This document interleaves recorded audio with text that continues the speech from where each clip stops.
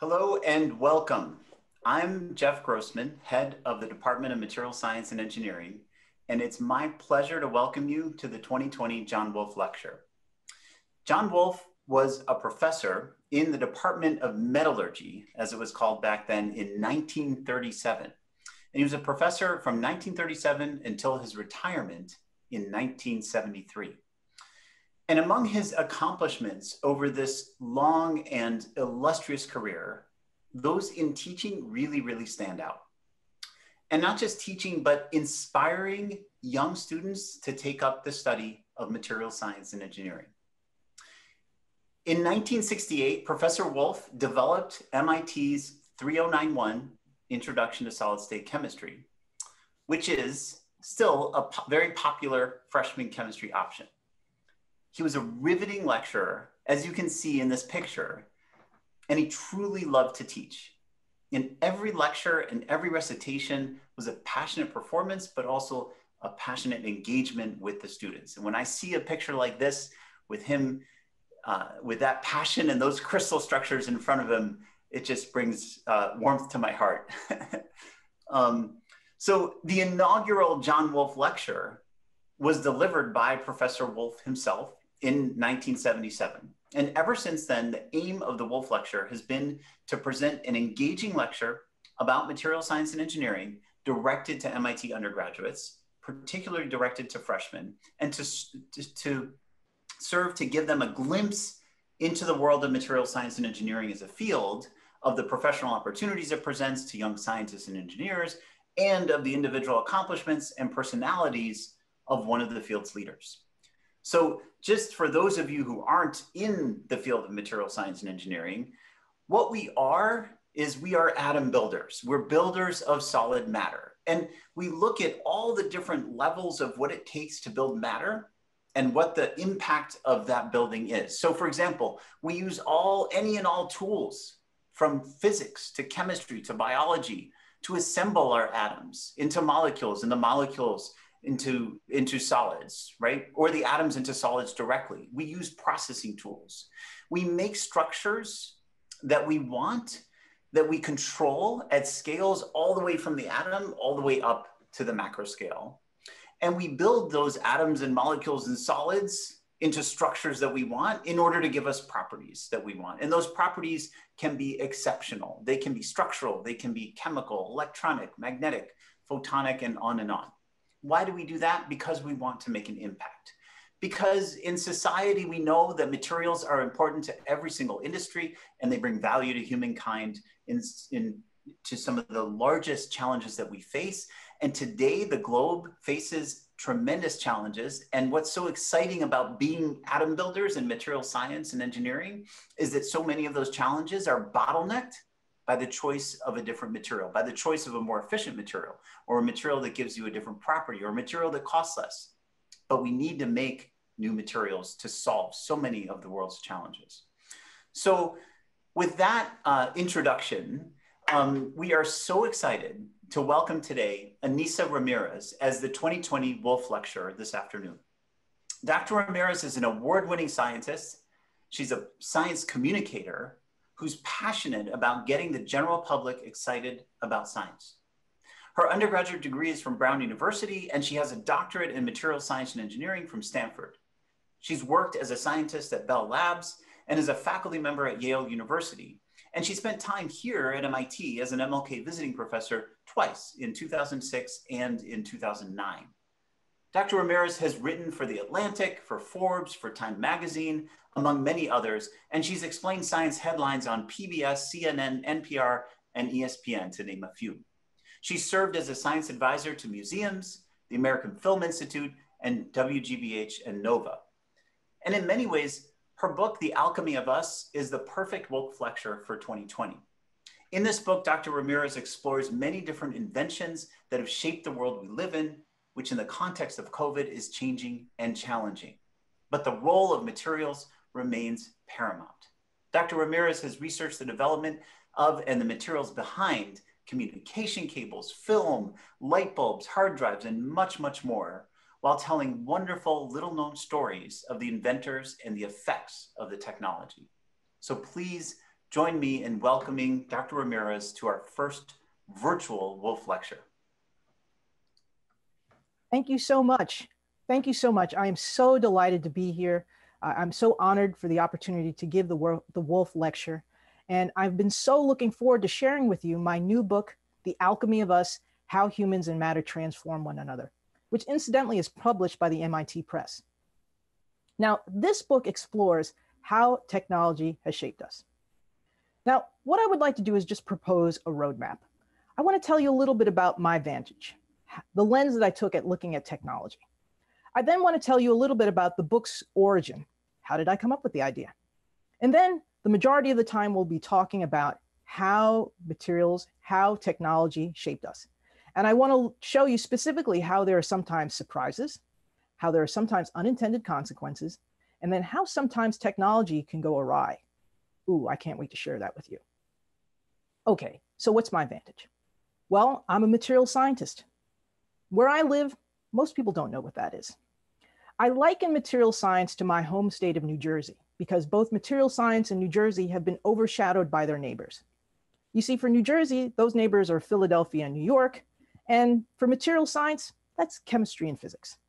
See, material science is interested in how atoms bond, the structure, that's the chemistry part. It's also interested in how matter behaves in different situations. That's the physics part, the properties. Now, I have to be honest with you. I never heard about material science growing up. And the first time I did, I wasn't even interested in it. Well, why? Well, it was a prerequisite course back in my college days, and I had taken a series of prerequisite courses and most of them were not, how shall I say, fascinating. But the first day I sat in my material science class, the professor completely blew me away. He said, The reason why we don't fall through the floor, and the reason why my sweater is blue, and the reason why the lights work, all has to do with the interaction of atoms. And if you can understand how they do that, you can get them to do new things. Now, when he said that, I stopped listening to him, which I don't recommend. You should always listen to your professor, he or she, they may have something important to say. But I temporarily stopped listening to him because I had a fresh perspective. I was like, he was absolutely right. My shoes, my shoes were comfortable because the molecules in the rubber are kind of shaped like springs, which brought a comfort to my feet. And the pencil in my hand, I was able to make a mark because the carbon atoms in the graphite were sliding past each other. And my glasses, my glasses allowed my eyes to see because the glass bent light to my distant retinas. This guy was telling me something that made the whole world make sense to me. And it was that moment that I said, I think I'm going to study material science. Now, since I was young, I knew I wanted to be a scientist. I was a curious little girl. I asked a lot of questions. I took a lot of things, lots of things apart. I didn't always put them back together. It wasn't because I was being malicious. I was just curious. Now, what's funny is that what actually put me on the path to becoming a scientist was actually television. I had a lot of favorite television programs that I really loved during the 70s and 80s.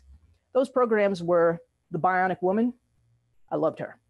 Uh, the Six Million Dollar Man. Oh, I love that show. I actually had the doll. Um, Star Trek with Spock. I totally love that show. I had those dolls. In fact, I wish I had those dolls today. But a show that really put me on the path becoming a material scientist or becoming a scientist was a program called 321 Contact. On it, there was a repeating segment of kids solving problems. And one of those kids was an African American girl. And when I saw her, I saw my reflection. I said, Hey, I want to do that. And so she became the North Star. And with some hard work, perseverance, and navigating that bumpy road, I eventually became the material scientist that you see in front of you today. Now, I've had a fun time doing material science in my career. L- let me just run down some of the playlists, some of the things I was able to do. Well, I was able to invent a solder that bonds to glass. Oh, that was that was a lot of fun. I spent a couple of years looking at shape memory alloys, alloys made out of nickel and titanium that undergo a phase transformation when you heat them. So when you heat them, they change their shape. That was a lot of fun to work on. I also worked on micro machines, small, small devices that you can hardly see that move and, and actuate. Oh, that was a lot of fun too. But I have to say that for all of my efforts in working in material science, I was actually starting to feel a little bit incomplete. Why? Well, I had a lot of knowledge in my head, but I didn't feel like I had a whole lot of skill in my hands. So a couple of years ago, I signed up for some glass blowing classes. There's a studio not far from where I live, a couple of cities over. And so I signed up for some classes. Little did I know that that glass blowing class was actually going to put me on this path to this book. Let me share with you how. Now, when I went to go visit uh, the glass blowing studio, the instructor was fantastic he did a demonstration. He stopped what he was doing. He went over to the area where there was hot molten glass. He tugged on it about a half dozen times. And what he made was a galloping horse. Not all the feet were on the ground. And the mane was flowing in the air like a shampoo commercial. I said, This guy is amazing. I want to be next to him. Now, while I was walking around with him, he said, Hey, if you see glass strips on the floor, don't step on them. Because even if you think they're cool, if they're hot, they're hot enough to burn a hole in your shoe. I said, burn a hole in my shoe. That doesn't sound too safe. Well, despite my trepidation, I decided to sign up for some classes. And I knew that I had to be careful. I had to be extra careful, not only because of the, the warning that he had given me, but because, well, real talk, I'm a little bit on the clumsy side. So I knew that I had to be cautious because if I didn't pay attention, there was a good chance that I would get burned. So when I went to my glass blowing class and it was my turn to work with the glass, I was very, very cautious. I would get my pipe and I would stick it just gingerly into that vat of hot molten glass and I would pull out just a little bit and I would blow a small bubble and then I would make a small vase and something that size.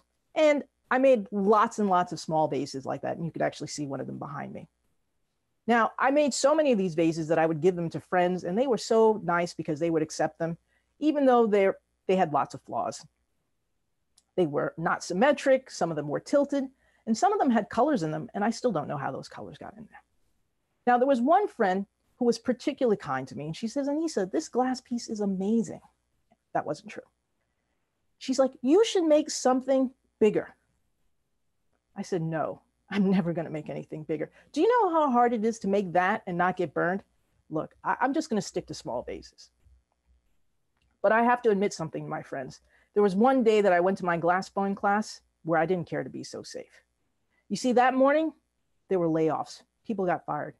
And so by the afternoon, there was lots of hugging and crying. And so by that evening, I was in a very, very raw state. So when I went to my glass blowing class, I took a very different approach. I put all my frustration onto that glass. So when it was my turn to work with the glass, I got my pipe and I stuck it deep into that vat of glass. Oh, I was angry and I took out a lot, nearly maxing out my muscles. And then I blew a huge bubble. And then I did things I had never done before. I swung the glass, and when I did that, it made it longer. And I spun the glass, and when I did that, I made it, it made it wider. Now, when I came back to myself, I noticed that this glass piece was one of the best glass pieces I had ever made in my entire glass blowing career. And I wasn't the only one who had noticed some of my classmates, they came up to me and they're like, Ainissa, that piece, it's huge. It's a big vase. You're making a big vase. I said, I know. They're like, it's beautiful. I'm like, I can't believe it. Now, I had one more step before I was done. All I had to do was put the piece, which is on the end of my pipe, into the furnace for a short amount of time for a flash of heat. And then I could remove it off the pipe and then put it over to the area where it cooled. But as I put it into the furnace to cool, I'm still talking to my friend. I'm losing track of time. When I remember what's going on, I say, oh gosh, I pull it out. This piece is incandescent orange. It is extremely hot. Not only that, what was hanging on my pipe like this is now hanging off my pipe like this. Oops, I'm in trouble. Now I had a little bit of glass blowing knowledge. I said, all I need to do is rotate this pipe 180 degrees. And what will happen is that the glass piece will come down because of gravity and it will level itself all will be right in the world and things will be great. But because it was so hot, it just went down to its new lower side. So I rotated and it went down to its new lower side. So I rotated and it went down to its new lower side. So I rotated and it went down to its new lower side. So I rotated and then it just fell to the ground, boom, twisted right off the pipe. There's my beautiful piece, no longer beautiful, now on the floor. Now, my instructor had been watching what was going on. So he rushed over. He had heat resistant gloves. He picked up the piece, reattached it to my pipe, put it into the furnace, flattened, uh, rounded the flattened side with a wet wood block. He opened up the seal lips because they had collapsed onto themselves. Then he gave it over to me, And this was kind of beyond my skill. So I just did what I should have done before, which is put it into that furnace for that flash of heat, remove it over my remove it from my pipe, and then put it over to the area where it cooled. Well, now it's cooling and I'm calming down. I'm starting to think, I'm starting to have some deep thoughts. And I'm talking to myself. I do that when I'm thinking deeply. I'm saying, Ainissa, you know, that glass piece and I were in a dance. Well, what do you mean we were in a dance? Look, I shaped it. Well, of course you shaped it. It's a glass blowing class. Now, hear me out. It shaped me. What do you mean it shaped me or you? What do you mean? Well, look, I was in a bad mood when I came to this class, and now I'm in a pretty good mood. In fact, I'm pretty happy to be alive. I wonder how materials and humans have been shaping each other over the last couple of centuries. Boom. That was the birth of the book. That was the birth of the alchemy of us. Now, in order to explore how materials shaped us over the last few centuries, I, as a material scientist, I had to completely change gears. I had to completely change the way that I did material science.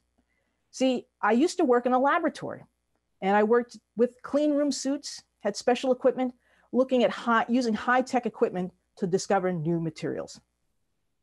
I liken myself to a periscope where I was pointing in the direction that I was headed. I can see just a little further out. I was focused on the future. But now, in order to explain or to explore how materials got us to this point, that periscope had to be pointed behind me. And also, I had to change locations. I was no longer in clean room laboratories, I was now in libraries. And before, where I was looking at new tech, I was now looking at old tech of books and old papers and archives, trying to figure out how those materials got us to here.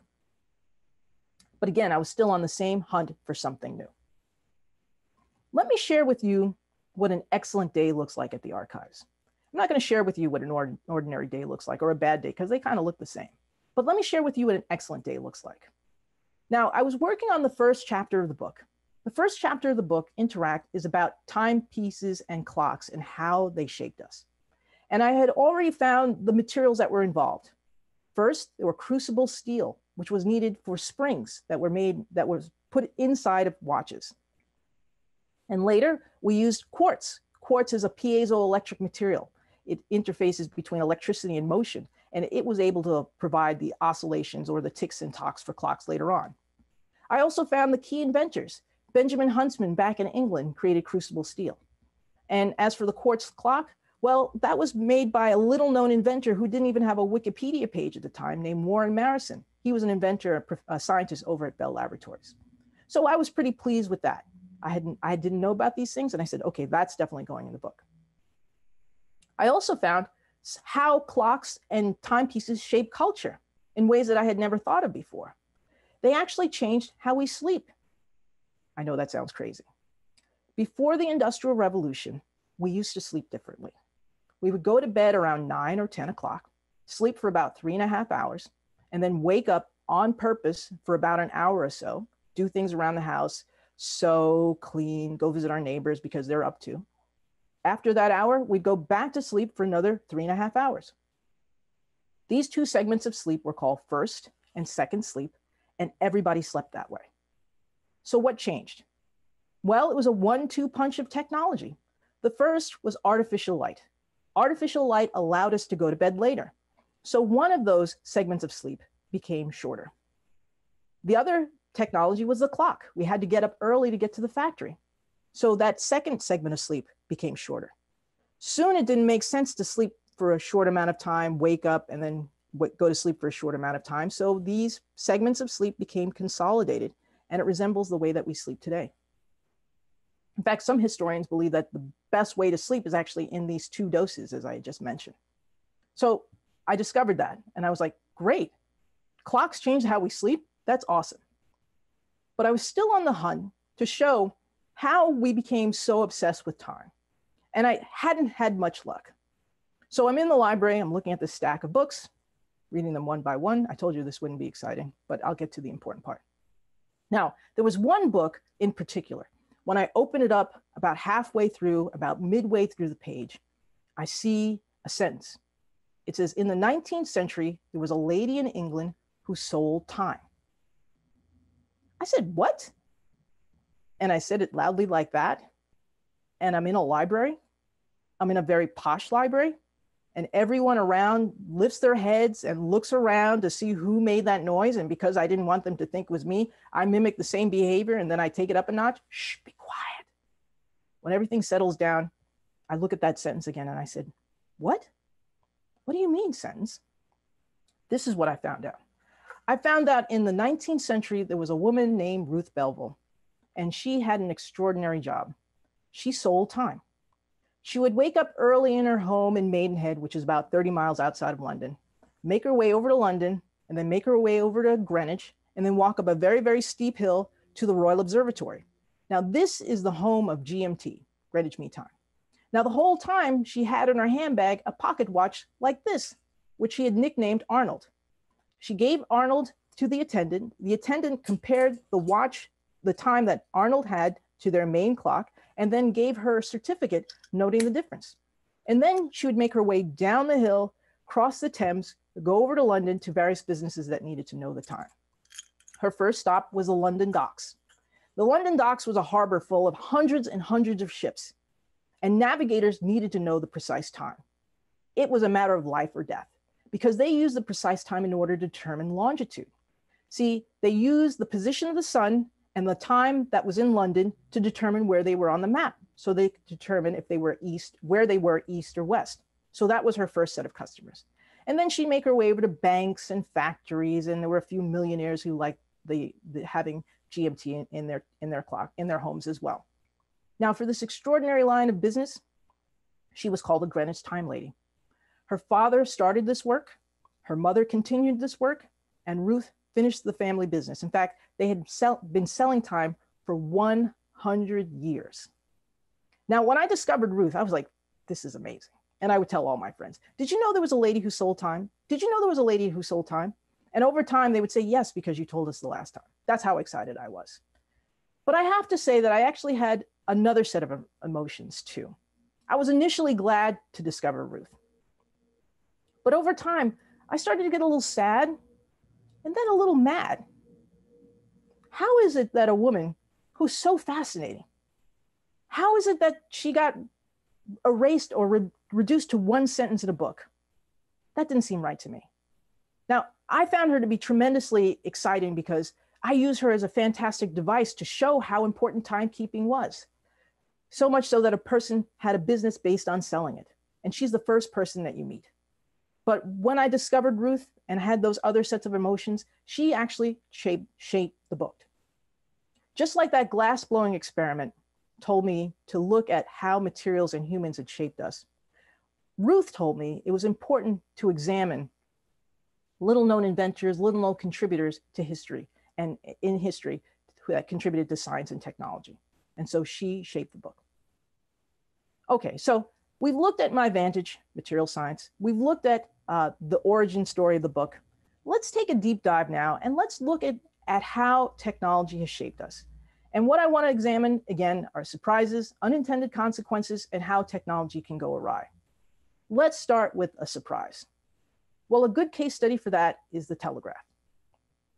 Now, if you go into, if you look at some books and you look up the telegraph, the inventor that you're going to see is, is Samuel F.B. Morse.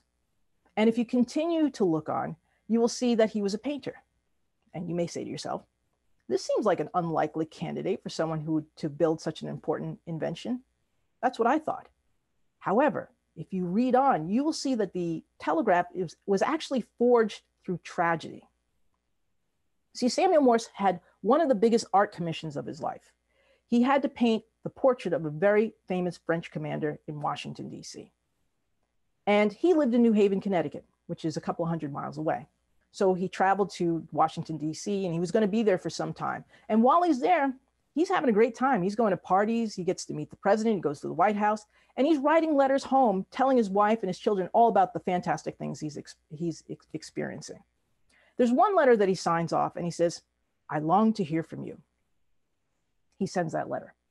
Now, he knows it's going to take some time before he hears back because letters traveled by stagecoach. So it's going to take a couple of days to get to New Haven. It's going to take a couple of days for his wife to write, and then it's going to take a couple of days for him to get a response. So at minimum, two weeks, more likely three weeks before he hears back. So he sends that letter. A couple of days later, he gets a letter from New Haven. It's from his father. His father lives in New Haven.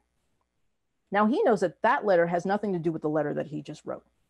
He also knows that his father is quite stern. So when he reads the letter and it starts off with, My affectionately beloved son, he's like, What's up? Continues to read the letter. Ends up, his wife had died. Yeah, sad. The day that he wrote, I long to hear from you, she had already passed. So he rushes to New Haven. And when he gets there, she's already been buried. So Morse may not seem like a likely candidate as a painter to invent something so important, but he surely would have loved to have a ra- rapid way to communicate, which is what was the impetus for him to go on and create his telegraph. Now, what he created was precisely no- known as the electromagnetic telegraph. And in material science, we know all about how this thing was made. It's relying on copper wires, which are able to be conductive. He uses short and long pulses in order to send information, and he uses batteries to provide those short and long pulses. Now, he's developing his telegraph, and he's working with an assistant, Alfred Vail. Sometimes they're in the same location, sometimes they're not in the same location, and they're writing letters to each other talking about the experiments. And if you read the letters, they kind of go like, try this. Did this work? Did you understand this? Let's try this. Those are kind of how the dispatches are between them. But if you continue to read the letter, you find Morse becoming continually irate. He had a little bit of a temper. In one letter he writes to, to Vail, he says, condense your language. That's my interpretation of what he's saying anyway. Well, why was he saying that? Well, both Vail and Morse were of the tradition of writing letters by hand. And then they would translate those letters into Morse code, dots and dashes, short and long pulses of electricity. And then the person on the other end would receive those dots and dashes and then translate uh, what the meaning of the message was. So Morse was getting a little impatient because he would get a message sort of like dash, four dots, dot, dot, dot, and then another dot, dot. And then he'd look at his handy dandy Morse code and he'd see, oh, that's T, okay, that's E, H, okay, that's E the. That's a lot of work for a word that doesn't really do much, doesn't contribute much to the meaning. So this is why he's getting irate with Vail. He's saying condense your language. Don't use the, use the letter T. Don't use B, B-E, use the letter B. Don't even think about putting the word understanding in there. Just use the letter UN. And for yes, use II, two dots, two dots. See, Morse and Vail created a shorthand sort of like how we have today with Twitter and text messages. And the reason why I did this is because, well, it just became so onerous to change those different, uh, to, to convert from those dots and dashes to words. Now, the telegraph took off. It became really, really popular in America. And anyone could send a message to any part of the country. It was an amazing technology. However, if you went to a telegraph office, they were like, yeah, you can certainly use this, but we have one major rule you have to be brief. Why is that? Well, as wonderful as this contraption was in its ability to send messages rapidly across the country, it had a limitation. It couldn't handle a lot of messages. The first telegraph could send one message one way and one message another way.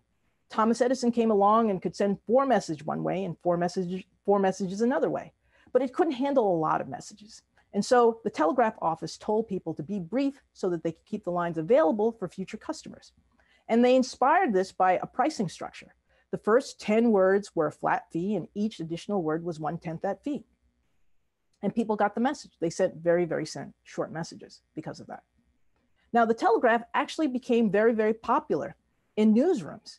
And this was great. You can get news from all over the country. People really love that. You could be in California and hear what's going on in New Orleans or New York. It was fascinating. This was, people really were excited about that. And reporters were told by their editors look, we love what you're writing, great copy, but you have to be succinct. Use short sentences. Why? Well, again, it was because of the limitation of the telegraph. Couldn't send a lot of information. And so they wanted to make sure that the dispatches were as brief as possible. Now, there was one reporter who, who really loved this style of short declarative sentences. He went on to become a very famous author. You might have even read him. His name is Ernest Hemingway. his his idea of writing with short declarative sentences was forged by the newspaper which was forged by the telegraph so here we have a little bit of a surprise the telegraph was designed to create a way for us to rapidly communicate but along the way it shaped language too now admittedly there were other features and other factors that shaped american english one was the desire for america to individuate itself from the uk we both spoke the same mother tongue, and so we wanted to take a different approach to it. Um, and on one side of the pond, they say privacy, we say privacy.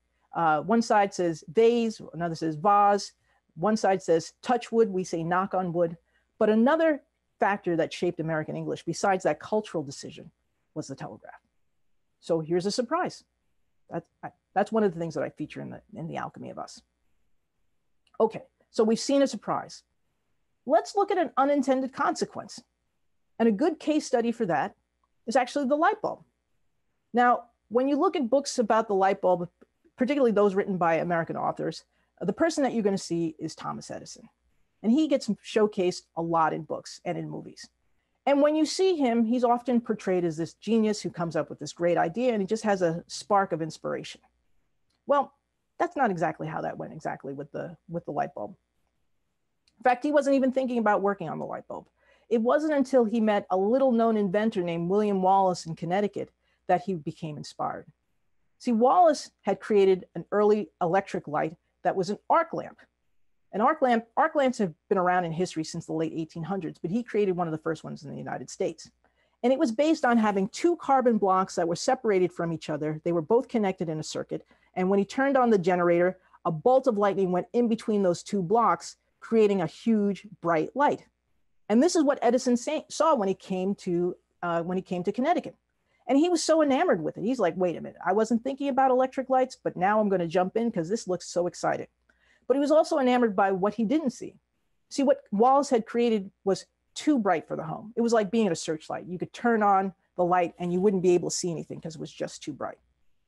So Edison said, I'm going to work on this. I'm going to work on this back in Menlo Park and I'm going to take a different approach. And so that's what he did. When he went back to Menlo Park, to New Jersey, my home state, he decided to use an incandescent way to provide light. Now, this is just based on having a small wire underneath glass where air is sucked out. And what you do is you apply electricity through that wire and it resistively heats so much so that it gets so hot that it starts to glow. This was going to be Edison's approach. Now, he he really had to focus on the materials. In fact, he was trying to figure out what was the best filament to glow the brightest. And he settled on platinum for a long, long time. Um, and, and actually, from a material science point of view, that was actually a good thing.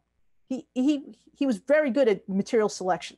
See, platinum has a high melting point. And so that was good because if you're going to have electricity going through this wire, you want it to be able to survive.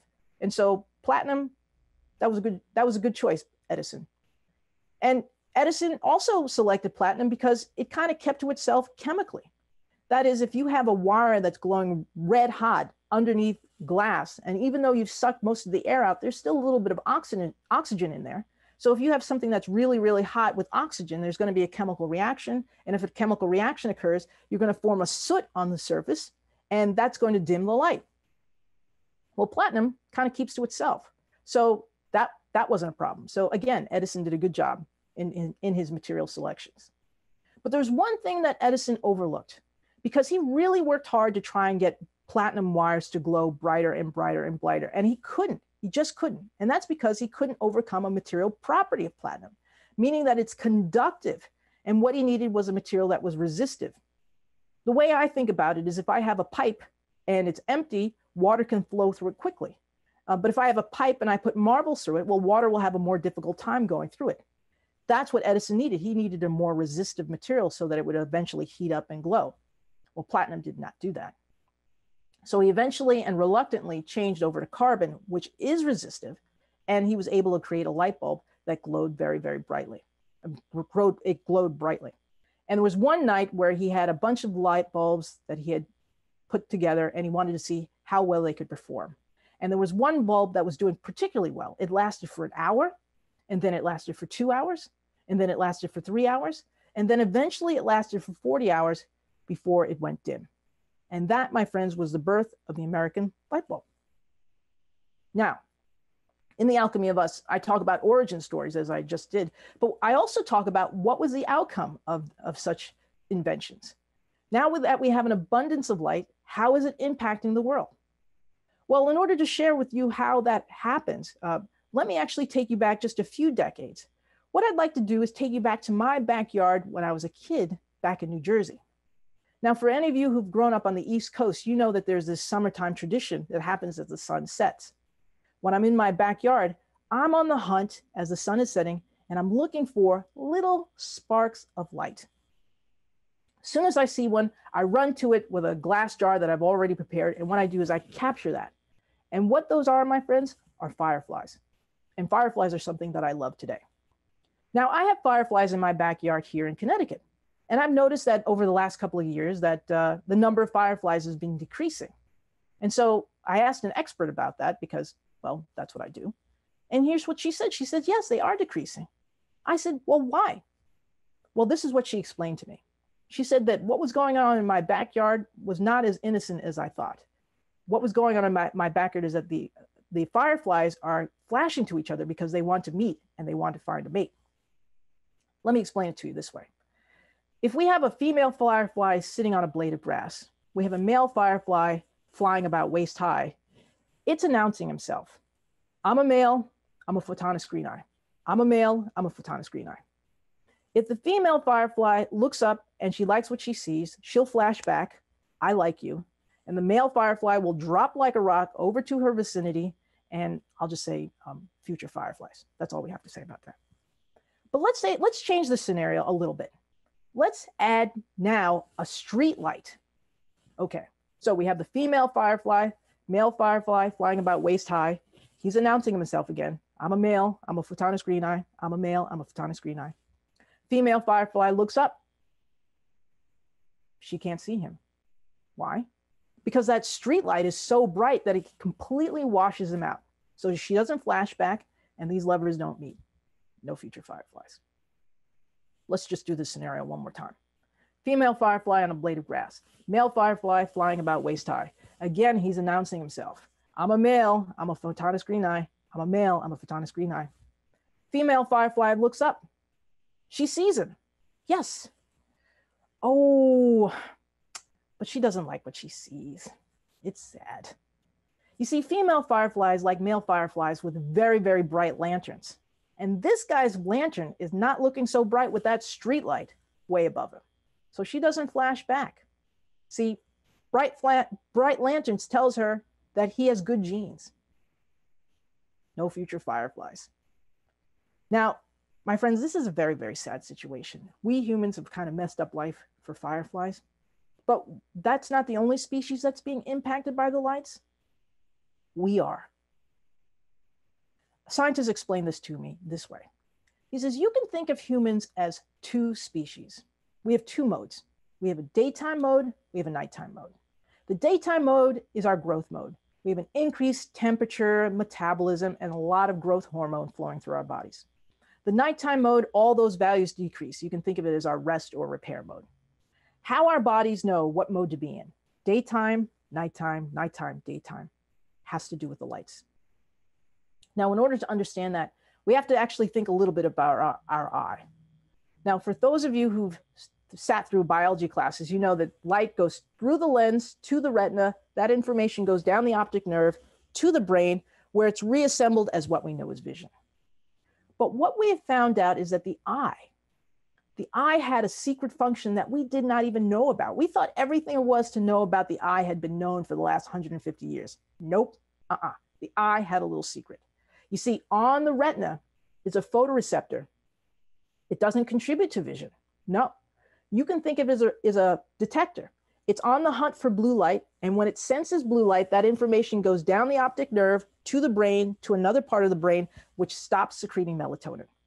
Melatonin is a chemical compound, compound that tells all of our cells to go into sleep mode. Time to go to sleep. So when it is shut off, our body enters into daytime mode. So blue light, daytime mode, daytime mode.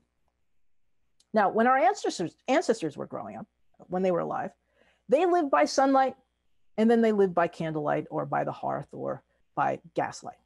The sun has a lot of blue light in it, so they were in daytime mode. Now, as the sun set, they exited daytime mode and they started to enter into nighttime mode because the light from candles is redder, so they were able to be in nighttime mode. But you and I, we live under electric lights all the time. And most of them are very, very strong in the blue. So we're in, in that growth mode up until we go to go to sleep. Now, there's some health repercussions if our bodies are awash in growth hormone all the time. One researcher told me at the NIH that we are slightly taller than our ancestors. Now, I know you're enumerating why that is, of course. Cleaner water, better nutrition, less war. But another factor is the lights. So there's that. But there's some negative uh, reasons too for, uh, or negative impacts of being surrounded by lights and having growth hormones going through our bodies. Researchers have done studies on animals and they've subjected them to various types of artificial light. And they have found that those that were subjected to the artificial light had an increase in risk for cardiovascular disease, some forms of cancer, and obesity. Now, we can't do those studies on humans. We don't do that. That's don't do that. But what we can do is we can look at what people do, where they live, how they get sick, and then make some correlations. And that's what epidemiologists have found. And they have found that there's a population that has an increase in risk for certain types of ailments, such as cardiovascular disease, obesity, and sometimes of cancer. And it has to do with when they work. They work at night underneath the artificial lights. So security guards and nurses and surgeons, all working underneath the lights, have this increased risk. So here we have an unintended consequence.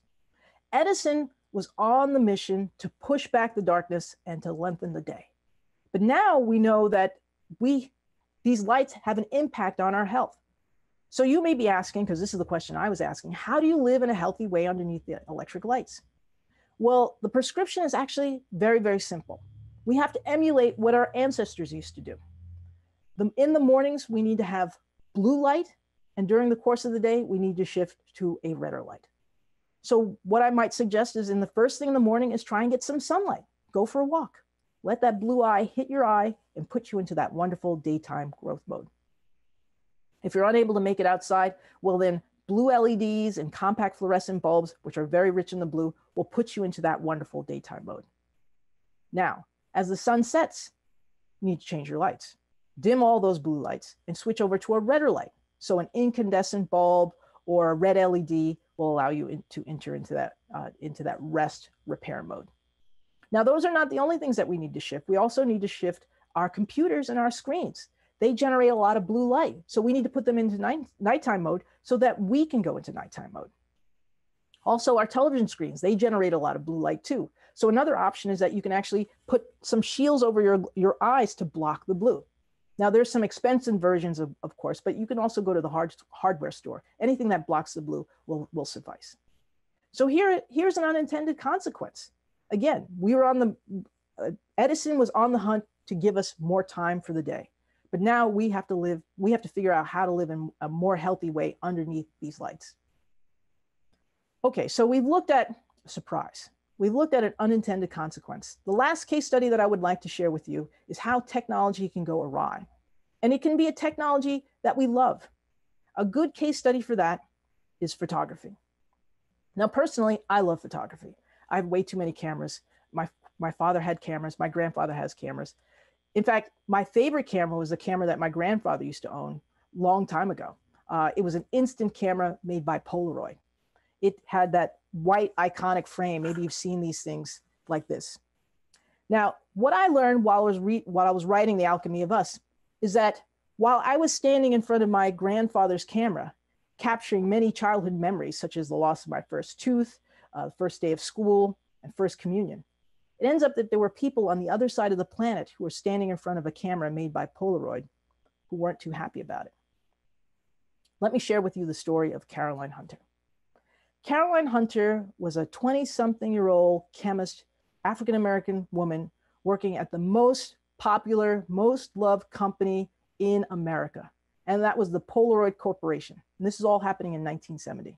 It was located right in Kendall Square, someplace that you might be familiar with. And if you walk around, you might be able to see some old buildings with Polaroid on it. Now, Caroline was also working on the IT project, which was the instant photograph, the instant camera. And she was working on what was technically called goo. Goo is the scientific term for the material, uh, the solvent that's located in this, in this packet at the bottom that's squeezed out onto the film as it exits the camera. So she's working on the hottest project there is. Now, one day she's going to lunch with her friend, Ken Williams, who's over in the art department. And as they leave the, his office, they see on the bulletin board something that's very strange. It's a mock up for an identification card. Now, they know the person's face because it's someone who's in the office, but the words are strange. It says Department of the Mines, Republic of South Africa. These two look at each other and they're like, Republic of South Africa? What's Polaroid got to do with South Africa? See, they knew in 1970 that South Africa had an apartheid system. They also knew that the year before, the UN said that all companies, all countries should cease and desist from operating with South Africa. We should not be supporting that oppressive regime. So when Caroline and Ken found this, they decided to go learn some more. They spent nights in the library, and this is what they found out. Every Black South African had to carry with them a passbook. Passbook was a 20 page document which told any person where this person could go, where they could not go. This is before GPS and monitoring and surveillance that we have today. This was a simple way to do this. Now, at the heart of this passbook was a picture made by Polaroid. Mm. Caroline and Ken, they didn't think this was right. Oh no. So Ken went to go talk to some folks at management. He knew a lot of people over there. And at first they said, Oh, we don't sell any cameras to South Africa. And then they said, Well, if we sell cameras, it's not that many. But Caroline and Ken knew differently. They had been researching for weeks. They also knew that this camera was portable, it didn't require a darkroom. And so it was easy to render the likeness of 15 million Black South Africans very quickly with just having a couple of hundred cameras in the country. They didn't care for what the response was from their company. They didn't think that their work or their company should buttress, be buttressing such an oppressive regime. So, in an instant, they formed the Polaroid Revolutionary Workers Movement. They wanted to spread the word and convince Polaroid to stop selling its cameras to this government and stop oppressing people. So, how do you spread the word in an age before the internet, before Twitter? Well, they typed out newsletters and they actually posted them on bulletin boards. They put out flyers, they put them on cars. They had rallies to tell people about what was going on.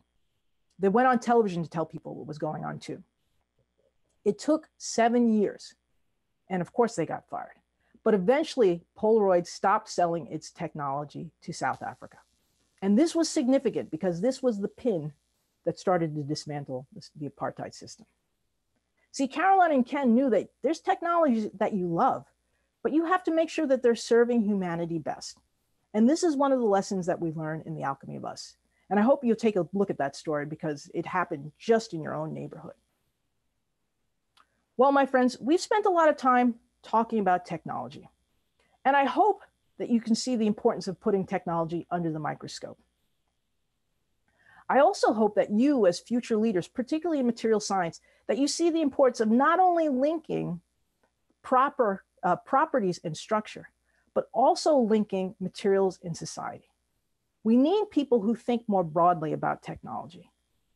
Because as I say in The Alchemy of Us, such a thoughtful analysis of the impact of inventions benefits society. Not just because it's an entertaining cerebral exercise, but because when coupled with action and social change, it has the potential to help society transcend its condition and favorably further this alchemy of us. Thank you so much for your attention, and I look forward to any of your questions. Well, big round of applause uh, for Dr. Ramirez. Thank you so much. Um, I, I, you know, that was an amazing, uh, amazing talk, and and uh, you're just truly such a gifted storyteller. Uh, the way that you wrap together you know so seamlessly the importance of material science of technology and how that weaves together with uh, biology people society humanity itself um, I'll, I'll, never view uh, fireflies light bulbs morse code photos, sleep, or or time itself uh, quite the same way. so thank you again. Uh, that was amazing. Um, I, I want to let the uh, audience have uh, time for questions, and I'd like to uh, remind people who are tuning in uh, via the webinar that um, there's a way to enter questions at the bottom of the screen. So you have to use the, um, the Slido platform that is at the bottom to enter any questions. Um, and I'll, I'll start it out with a question of my own, which is, um, it, uh, you know, what advice would you give to uh, sort of these, uh, you know, young scientists and engineers, um, maybe either to help them know how to share their passions with others um, and be storytellers, um, but also, um, you know, and make an impact on the world that way, or or how they can follow some of the examples of some of the people that you talked about.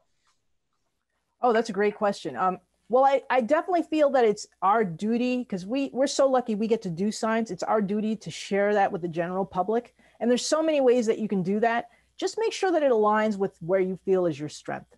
So if you're really good at doing demonstrations, get a YouTube channel and put some demonstrations out there. People are going to love that.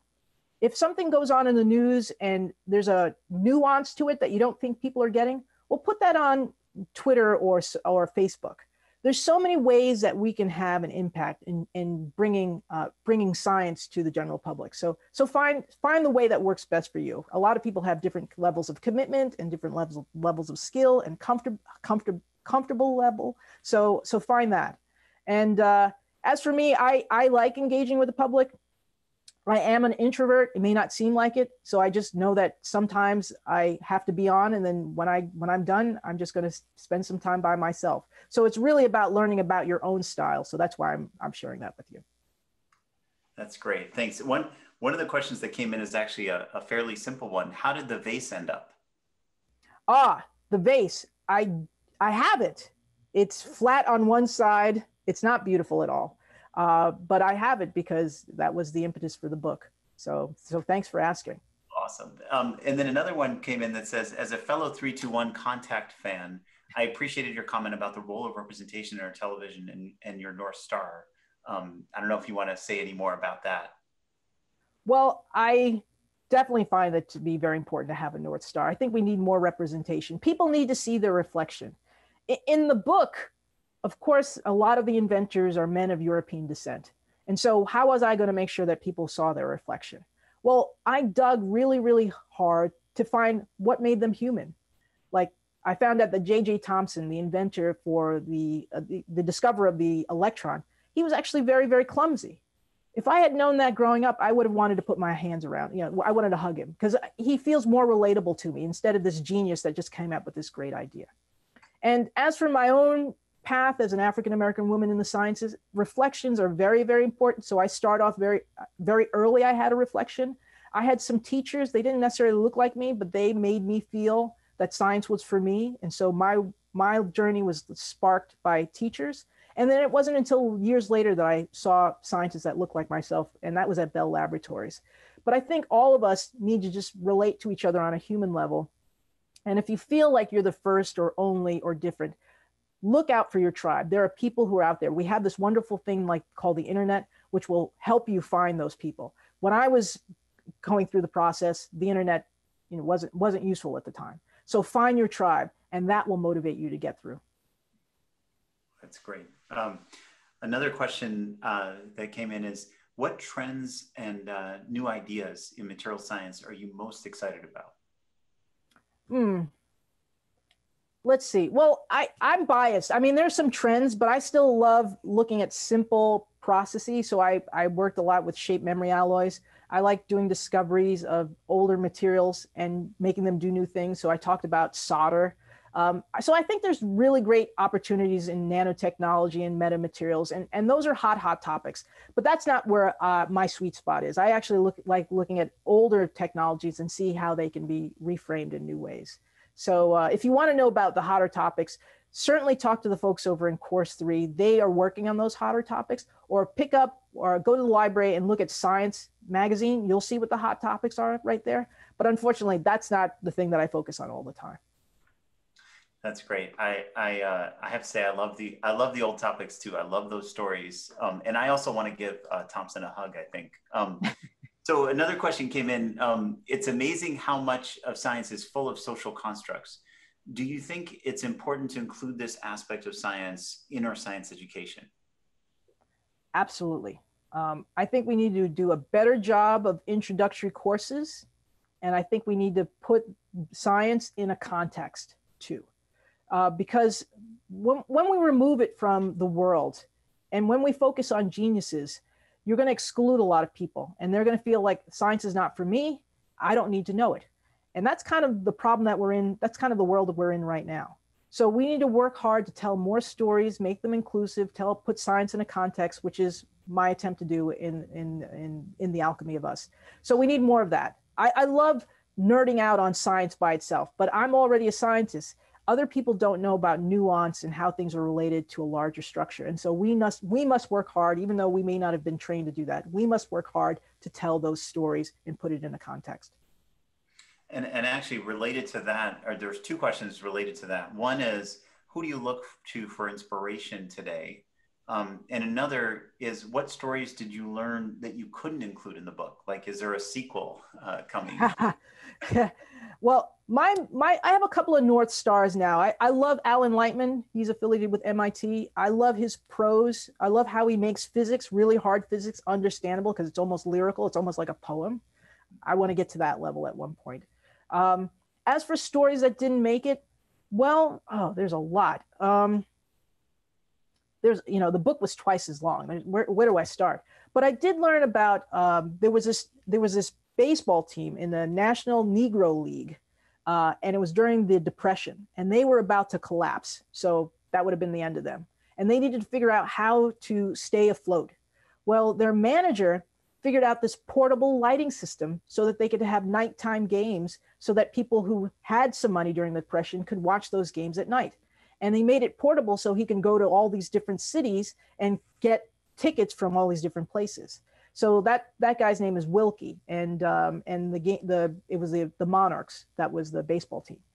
I love that story, but it didn't fit the theme that I was thinking of for the alchemy of us so it didn't make the book. So there there are many of those kinds of stories and and maybe there'll be an alchemy of us too but um, right now uh, i'm working on children's books. That's awesome. Um, the um, let's see uh, so I, guess you know one one question is um, you know I love how you you um, you ended you know at the end there you talked about unintended consequences of technology um, and I'm wondering if you have any advice uh, from your work and your research about how we might be able to avoid or minimize at least the impact, uh, the negative un- unintended consequences. Well, that's a great question. I, I think just even considering how our invention might be used in the world is important. I remember when I was in the laboratory, I was just so geeked out and so excited. Oh, this works. And can I write this up and can I get into science? And I never did that exercise of like, okay, now that this is in the world, how is this going to impact the world? We, if, if we do consider that, maybe there's some kind of tweak that we can make in the technology so that it isn't used for nefarious reasons. We won't get everything because there are people with too much time who think about bad things to do with everything but it is something that we should consider if there is some small modification or some way that we can, can encapsulate the impact of something. Uh, but we don't really, when I, when I was at Yale, I didn't even teach that. So that's the reason why I wrote The Alchemy of Us, because I think that that was one of the lessons that should have been included, that we build technology, we use and apply science as we know in engineering. But the last thing is like, make sure that this is serving humanity well. Well, that is a fantastic, I think, uh, way to end. I love serving humanity well. I can't think of a better uh, closing line. And but but I want to just thank you again so much uh, for this wonderful and captivating presentation. And and for those of you who are watching, if you want to uh, find the book, it's at MIT Press. Um, it's The Alchemy of Us, and that's what uh, Dr. Ramirez uh, told us a little bit about today um, it kept me on the edge of my seat. And I just, I thank you again so much for, for being here with us today. Thank you. Thank you. Everybody stay safe.